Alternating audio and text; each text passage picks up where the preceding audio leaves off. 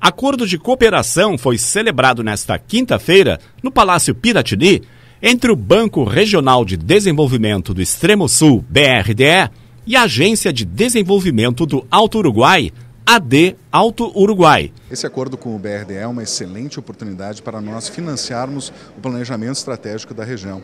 Ao longo de 2014 e 2015, nós realizamos um planejamento profundo, com discussão nos 32 municípios da região do Alto Uruguai, e isso originou uma série de projetos que vão desde a segurança até o desenvolvimento econômico, passando pela parte da agricultura, pela parte do desenvolvimento industrial, pela parte da educação, ou seja, uma gama de projetos, são mais de 80 projetos, e todos eles têm essa possibilidade ao longo de 15 anos, até 2030, que é o nosso planejamento, de serem efetivamente implementados na nossa região. O acordo tem apoio da Associação dos Municípios do Alto Uruguai e aprovação das comunidades de 32 municípios, que fazem parte da região. A Agência de Desenvolvimento do Alto Uruguai tem projetos que não são especificamente projetos para municípios, são projetos de desenvolvimento nos municípios e na região.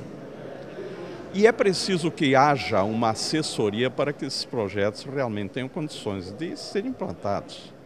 O que o BRDE pode fazer é examinar o elenco e vai fazer. Diante disso, vai orientar daquilo que é viável, que é possível, que não é. Se houver recursos que podem ser buscados pelo BRDE, ele se propõe a fazê-lo.